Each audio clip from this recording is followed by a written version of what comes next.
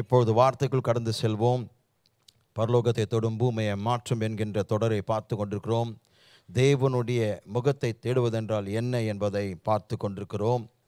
தேவனுடைய நன்மையை சங்கீதம் இருபத்தி ஏழு பதிமூன்றாம் வசனத்தில் பார்த்து கொண்டிருக்கிறோம். சங்கீதம் இருபத்தி ஏழு பதி பதிமூன்றாம் வசனம். நானோ ஜீவனுள்ளூர் தேசத்திலே கர்த்தருடைய நன்மையை காண்பேன் என்று விசுவாசியாதிருந்தால் கெட்டுப் போயிருப்பேன். இன்றைக்கு மூன்றாவது காரியம் மீட்பில் அதை பார்க்கிறோம். தேவனுடைய நன்மையின் மிகவும் அழகான ஒரு பகுதி இது ஒரு பங்கு இது. கவனிக்க வேண்டும் இயேசுவானவர் மாம்சத்தில் இருக்கிற தேவன் நன்மையாக இருக்கிறார். அப்போ நாம் நன்மையை எங்கே தேட வேண்டிய அவசியம் இல்லை. மாம்சத்தில் தேவனுடைய நன்மை நம்முடைய கண்கள் பார்க்க முடிகிறது. அவர் நாமம் இயேசு. சரீர பிரகாரமாய் தேவன் தம்முடைய நன்மையை முழுமையாய் கிறிஸ்துவுக்குள் விளங்க பண்ணினார். ஆமேன். அப்போ பாருங்க நாம் அனைவருக்கும் தம்முடைய ஆசீர்வாதத்தை பொழிய வேண்டும் என்று தேவனுடைய விருப்பத்தை இயேசுவானவர் வெளிப்படுத்தினார். எப்படி அதை வெளிப்படுத்தினார்? மீட்பில் அதை வெளிப்படுத்தினார். மீட்பில் அதை எப்படி செய்தார்? தேவன் நம்முடைய பாவத்தின் நியாய தீர்ப்பை அவர் சுமந்து கொண்டு நம்மை விடுதலையாக்கினார். ரோமர் ஐந்து எட்டாம் வசனம்.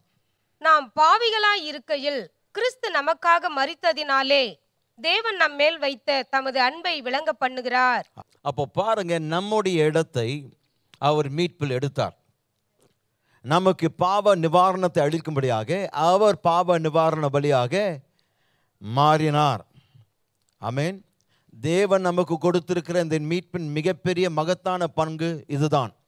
அப்போ பாருங்க தேவனுடைய நன்மையின் முழுமை எங்கே பார்க்கிறோம்? ஒன்று சிருஷ்டிப்பில் பார்க்கிறோம் ரெண்டாவது பராமரிப்பில் பார்க்கிறோம். ஆனால் முழுமையாக எங்கே பார்க்கிறோன்னா தேவனுடைய மீட்பில்.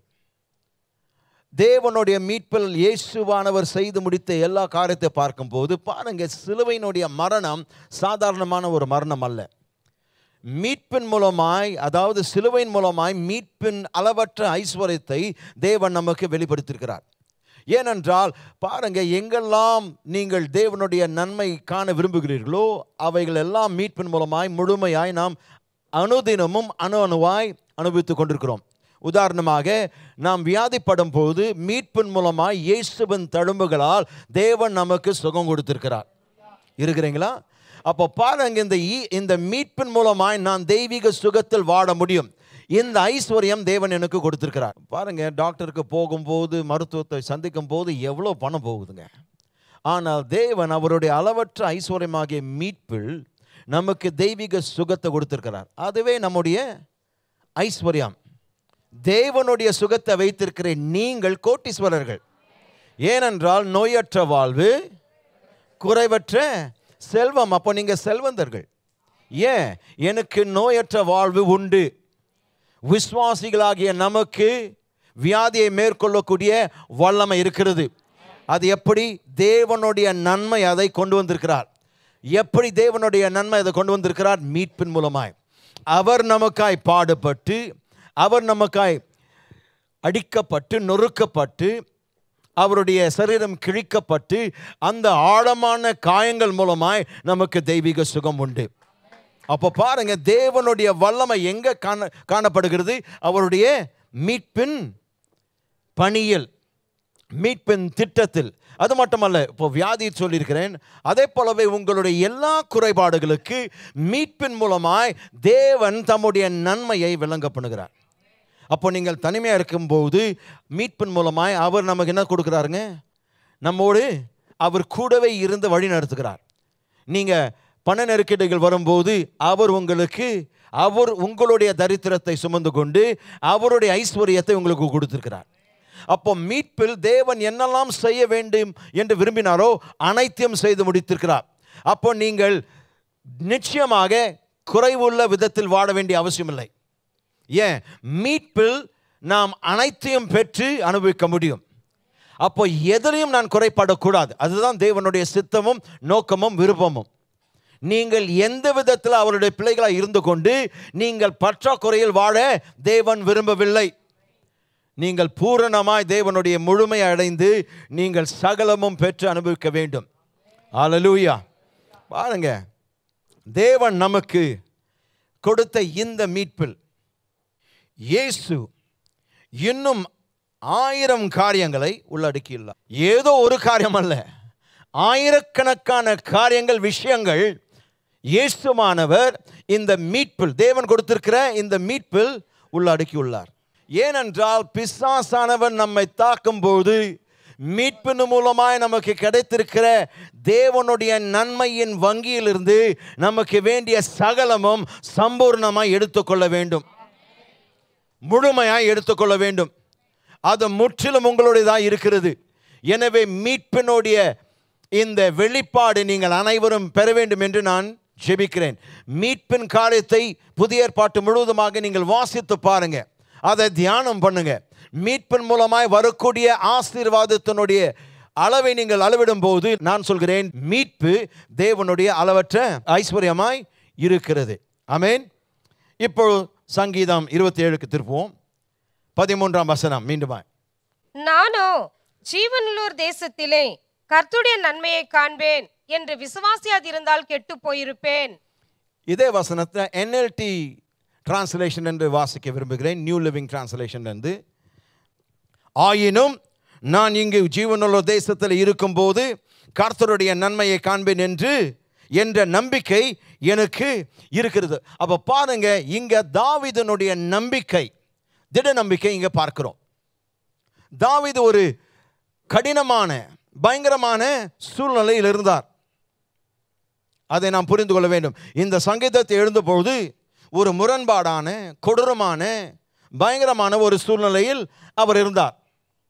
அவர் சேனைகளினாலும் போரினாலும் தாக்கப்பட்டு விரோதிகள் கூட எதிரிகளோடு. அதுவும் ஒருவேளை அவருடைய சொந்த குமாரன் அப்சலாம் அதில் இருந்திருப்பார். இருந்தான். இவர்களெல்லாம் இவனை பின்தொடர்ந்து இவனை அழிக்க வேண்டும் என்று சொல்லி அவர்கள் முற்பட்டார்கள் முயற்சி செய்தார்கள்.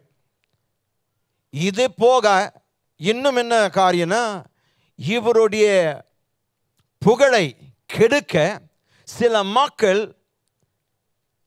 அவதூறாய் அவரை குறித்து பேசினார்கள். அவர் சொல்கிற காரியத்தை பார்க்கும்போது தாவீது சொல்கிறார் பொய் சாட்சிகளும் ஆக்கிரமித்து சீர்கிறவர் சீறுகிறவர்களும் எனக்கு விரோதமாய் எழும்பி இருக்கிறார்கள் பாருங்க எப்படி அவர் சொல்றார் பாருங்க. எத்தனை பேர் என்னை வன்முறையாக எழும்பி இருக்கிறார்கள் அதான் சீரி எழுவுது. அவர்கள் இவளை அழிக்க மட்டும் விரும்பல இவருடைய பேரும் புகழும் முற்றிலுமாய் அழிக்க வேண்டும் என்று தவறான காரியங்கள் பொய்யான குற்றச்சாட்டுகள் கொடுத்தார்கள். நமக்கு ஒரு பிரச்சனை இல்லை என்றால் தேவன் அவற்றை தீர்க்க முடியும் என்பதை நாம் ஒருபோதும் அறிய மாட்டோம். அப்புறம் பிரச்சனையின் மூலமாக தான் தேவன் அதற்கு தீர்வு கொடுக்க முடியும் என்பதை நான் அறிந்து கொள்கிறேன் வெளிப்பாடு பெறுகிறேன். வியாதி இல்லாவிட்டால் தேவன் என்னுடைய பரிகாரி என்று என்னால் சொல்ல முடியாது. அவர் என்னை சுகப்படுத்துகிற தேவன் என்று நான் சொல்ல முடியாது. வியாதி இருக்கிறதுனால தான் அவர் எகோவா ராஃபா என்ற பெயரை கொடுத்து இவ்வண்ணமாய் உன் வாழ்க்கையில் நான் கிரியை செய்வேன். நானே உன்னை சுகப்படுத்துகிற தேவனா இருக்கிறேன். அப்போ வியாதி வரும்போது இது தேவனால் எனக்கு கொடுக்கப்பட்டது என்று எந்த விசுவாசியும் சொல்லக்கூடாது. மாறாக இந்த வியாதியை குணப்படுத்த அவர் காயப்பட்டார். அவர் நொறுக்கப்பட்டார். அவர் நசுக்கப்பட்டார். பிரச்சனை இல்லை என்றால் தேவன் இதற்கு தீர்வு கொடுக்க முடியும் என்ற அறிவு எனக்கு வராது. அப்போ பிரச்சனை வரும்போது நான் அறிந்து கொள்கின்ற காரியம் தேவன் எனக்கு சகாயர். தேவன் என்னுடைய விடுதலை. தேவன் என்னுடைய வெற்றி. தேவன் என்னுடைய பராமரிப்பு. தேவன் என்னை உயர்த்துகிறவர். தேவன் என்னை முடிசூட்டுகிறவர். தேவன் என்னை தப்பிவிக்கிறவர். அப்போ பாருங்க பிரச்சனையின் மத்தியில் தான் தேவனை குறித்த அறிவு எனக்கு பெறுகிறது. அப்போ நான் பிரச்சனை வரும்போது நான் அதை குறித்து பயப்பட மாட்டேன். மாறாக துள்ளி குதிக்கிறேன். ஏனென்றால் இந்த பிரச்சனையின் நடுவில் தேவனை பார்க்காத விதத்தில் ஒரு வெளிப்பாடை பெறப்போகிறேன். என் பிரச்சனை எவ்வளவுக்கு அதிகமாக மாறுகிறதோ அவ்வளவுக்கு அதிகமாய் தேவனுடைய வெளிப்பாடு பெறுவேன். உதாரணமாக நாம் சென்ற வாரத்தில் ஆபிரகாமுடைய வாழ்க்கையை பார்த்தோம். ஆதியாகமம் இருபத்தி ரெண்டாம் அதிகாரத்தில் ஒரு கடுமையான பரீட்சை. ஆனால் அந்த பரீட்சையை அவர் சந்தித்த பொழுது அந்த மிகப்பெரிய பரீட்சையில் ஒரு மிகப்பெரிய வெளிப்பாடை பெற்றுக்கொண்டார். அந்த வெளிப்பாடுன்னு அவருடைய நாமம் எகோவா ஈரே. பார்த்து கொள்கிற தேவனாய் இருக்கிறார். பாருங்க அவருக்கு அந்த வராமல் இருந்திருந்தால் அவருக்கு வந்து தேவன் எல்லா தேவைகளை முன்கூட்டியாக பார்த்து கொள்வார் பராமரிப்பார் என்ற வெளிப்பாடு அவருக்கு கிடைச்சிருக்காது. அந்த நாள் முதற்கொண்டு பாருங்க எந்த காரியத்தை குறித்து அவர் கவலைப்படல. தன் பிள்ளைகளை குறித்து கவலைப்படல. தன் பிள்ளைகளுடைய சந்ததிகளை குறித்து அவர் கவலைப்படவில்லை. காரணம் இந்த தேவன் எல்லாவற்றையும் பார்த்து கொள்வார்கின்ற வெளிப்பாடு அவருக்கு கிடைச்சது. அப்போ எப்பொழுது அந்த பிரச்சனை அந்த அந்த வெளிப்பாடு கிடைச்சது? பிரச்சனை வரும்போது தான் பிரச்சனை வரலன்னா இந்த வெளிப்பாடு இருந்திருக்காது. Sometimes you need to thank God for your problems because you're getting a new revelation of God in the midst of your problems சில வேளைகளில் நாம் பிரச்சனைக்காக தேவனை ஸ்தோத்தரிக்க வேண்டும். எதற்காக? ஏனென்றால் அந்த பிரச்சனையின் மத்தியில் இதுவரைக்கும் கண்டிராத தேவனை குறித்த வெளிப்பாடு நான் பெறப்போகிறேன். தேவனுடைய வெளிப்பாடை நான் பெறப்போகிறேன் என்றால் எந்த விதமான பிரச்சனை சந்திக்க தயாருங்க. ஏன்னா பிரச்சனையை பார்க்கலாம் என் தேவனை குறித்த வெளிப்பாடு மா பெரிது. மகத்தானது. தேவனுடைய குணாதிசயங்களை குறித்த வெளிப்பாடு மகத்துவமானதுங்க. நம்முடைய மனிதன் எத் நம்முடைய மனதின் எதிரி. அவனுடைய பொய்களால் நம்மை துன்புறுத்த அவன் முயற்சிக்கும் போது நீங்கள் செய்ய வேண்டியதெல்லாம் தேவனுடைய வார்த்தைக்கு கடந்து சென்று அங்கே இருக்கிற தேவ சமாதானத்தையும் தேவனுடைய வழிநடத்துதையும் நீங்கள் பெற்றுக்கொள்ளலாம். அவருடைய சமாதானம் அவருடைய நம்பிக்கை தேவனுடைய வார்த்தையில் இருக்கிறது. அப்போ பிசாசானவங்களுடைய மனதை குழப்ப நினைக்கும் போது நீங்கள் ஊழியக்காரர்கள் இடத்தில் ஓடாதீர்கள் வசனத்தை நோக்கி ஓடுங்க. இருக்கிறீங்களா? வசனத்தை நோக்கி நீங்கள் பார்க்கும்போது நீங்கள் எதிர்பார்க்கின்ற அந்த சமாதானமும் நீங்கள் எதிர்பார்க்கின்ற அந்த நம்பிக்கையும் வசனத்தின் மூலமாய் நமக்கு வருகிறது. இதுதாங்க இந்த சங்கீதம் இருபத்தி ஏழு பதிமூன்று பதினான்காம் வசனங்களை தனித்து பிரகாசித்து நிற்கக்கூடியதாய் மாற்றுகிறது. இந்த இரண்டு வசனங்கள் அந்த முழு சங்கீதத்தில் தனித்து நிற்கிறது பிரகாசமாக ஏன்? ஏனென்றால் முதலாவது அங்கே பார்க்கிறோம் அங்கே ஒரு தைரியம் ஒரு நம்பிக்கை இருக்கிறது. ஒரு நம்பிக்கை அங்கே இருக்கிறது. வெறுப்பூட்டும் சூழ்நிலைகள் இருந்த போதிலும் தேவனுடைய நன்மையை நம்புவதற்கு நம்புவதுதான். அதை நம்புவதற்கு நமக்கு வேண்டியது விசுவாசம். விஸ்வாசம் உண்மையான விசுவாசம் இருக்க வேண்டும் பிரியமானவர்களே. உங்களுடைய வாழ்க்கையில் இருக்கிறது தற்காலிகமான விசுவாசமா அல்லது உண்மையான விசுவாசமா? உண்மையான விசுவாசம் எப்படிப்பட்ட விசுவாசம்? எது நடந்தாலும் எப்படிப்பட்ட முரண்பாடான சூழ்நிலை இருந்தாலும் வெறுப்பூட்டும் சூழ்நிலை இருந்தாலும் என் கர்த்தர் நல்லவர். சென்ற வாரத்தில் இருக்கிற அந்த அந்த வாக்கியத்தை ஞாபகம் இருக்குங்களா? என்ன வாக்கியங்க அது? என் தேவன் ஒருவரே நல்லவர். எந்த சூழ்நிலையிலும் நீங்கள் ஆணித்தரமாய் சொல்ல வேண்டும். கம்பீரமாய் சொல்ல வேண்டும். பயத்தோடு இல்லை சந்தேகத்தோடு இல்லை தயக்கத்தோடு இல்லை. என் தேவன் ஒருவரே. நல்லவர் எப்படி சொல்லணுங்க அது? இதுதாங்க. இப்போ சொல்லிடலாம். இந்த அபிஷேகத்தின் கீழ் சொல்லலாம். ஆனால் பிசாசனுடைய முழு சேனை என்னை எதிர்க்கும் போது எப்பக்கத்தினம் நான் நெருக்கப்படும் போது நின்று நீங்கள் அப்படியாக சொல்லுவீர்களானால் நான் சொல்கிறேன் தேவனுடைய நன்மையின் பூரணத்தை உங்கள் வாழ்க்கையில் வெளிப்படும். ஆணித்தரமாய் சொல்கிறேன் இது நிச்சயமாய் உங்களோட வாழ்க்கையில் நடக்கும். தேவன் நல்லவர். அவர் ஒருவரே நல்லவர். எந்த சூழ்நிலையும் அவர் நல்லவர். சூழ்நிலை அவரை மாற்றாது மாறாக அவருடைய நன்மையின் சூழ்நிலையை மாற்றும். அதை குறித்த வெளிப்பாடு பெற்றுக்கொள்ளுங்கள். அமேன் உண்மையான விசுவாசம் தேவைங்க. ஏனென்றால் உண்மையான விசுவாசம் எக்காரணத்து கொண்டு தேவனுடைய நன்மை சந்தேகப்படாது. ஒருவேளை கர்த்தருடைய நன்மையை தான் பார்க்க முடியும் என்று அவன் தாவீது வெறும் நினைக்கவில்லை. இல்லை. அவர் சொல்கிறார் ஜீவனுள்ளோர் தேசத்தில் நான் என்ன செய்வேன்? கர்த்தருடைய நன்மையை காண்பேன் என்று விசுவாசி விசுவாசிக்கிறேன். அதான் சொல்கிறார் வேற வார்த்தைகள் எளிதான வார்த்தைகள் சொல்ல வேண்டும் என்றால் ஜீவனுள்ள தேசத்தில் கர்த்தருடைய நன்மையை நான் காண்பேன்றார். அதை நான் நம்புகிறேன் எனக்கு எந்த விதமான சந்தேகம் கிடையாது. அதான் நம்பிக்கை. எனக்கு தெரியும் இது நடக்கும்.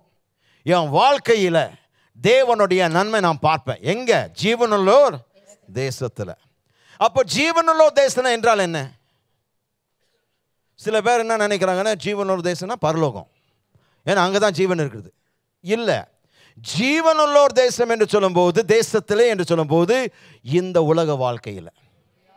அப்போ பாருங்க தாவீது சொல்கிறான் நான் செத்து பரலோகத்துக்கு போய் தான் நன்மையை பார்க்க போகிறது இல்லை நான் உயிரோடு இருக்கிற இந்த இடத்துல இந்த உலகத்தில் இப்போதே நான் தேவனுடைய நன்மை காண்பேன்.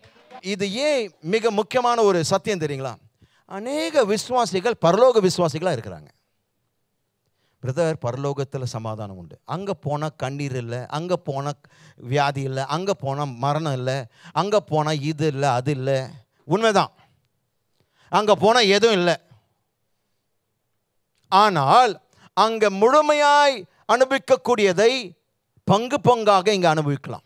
சில பேர் அவ்வளோ பரலோக சிந்துள்ளவர்களாக இருக்கிறதுனால இந்த பூமிக்கு ஒரு பிரயோஜனம் இல்லை. ஏன்னா எக்கார எப்போ பார்த்தாலும் பரலோகம். பரலோகம் பரலோகம். பாடெல்லாம் பரலோகம் தான். பரலோகம் உண்மைதாங்க. அங்கே முழுமையாக எல்லாற்றையும் அனுபவிக்க போகிறோம். ஆனால் பரலோகத்தினுடைய சகலமும் முன்ருசியாக இந்த உலகில் இந்த உலகத்தில் இந்த உலக வாழ்க்கையில் நான் அனுபவிப்பேன். டாக் டு மீ சம்படி நான் வெறும் பரலோகத்துக்கு போய் சுகம் பெற போகிறது இல்லை இந்த உலக வாழ்க்கையில் நான் சுகத்தை பெறுவேன். பரலோகம் சென்று என்னுடைய சத்துருக்கள் இருந்து நான் விடுதலை பெற போகிறது இல்லை இங்கே. ஏன்னா பரலோகத்தில் எனக்கு சத்ருவே கிடையாது. வியாதி கிடையாதுங்க. ஆனால் சுகத்தை இங்கே நான் அனுபவிக்க முடியும். அங்கே முழுமையாக அனுபவிக்க போகிறது இங்கே நான் பங்கு பங்காக அனுபவிப்பேன். இருக்கிறீங்களா? அப்போது இவர் சொல்கிற காரியம் ஜீவனுள்ள தேசத்தில் நான் கர்த்தருடைய நன்மை காண்பேன் என்று முழு நிச்சயமாய் விசுவாசிக்கிறேன். நான் அங்கே போய் தான் பார்க்கணும் இல்லை. நான் இந்த உலகத்தில் இந்த உலக வாழ்க்கையில் நான் இம்மையில் அதை பார்க்க போகிறேன். மறுமையில் அல்ல. எத்தனை பேர் தேவனுடைய பரலோகத்தினுடைய சகல நன்மையும் இங்கே நான் பார்க்க போகிறேன் இங்கே நான் அனுபவிக்க போகிறேன். அமேன் எப்பொழுது பார்த்தாலும் பரலோகத்தை குறித்து பேசாதீங்க.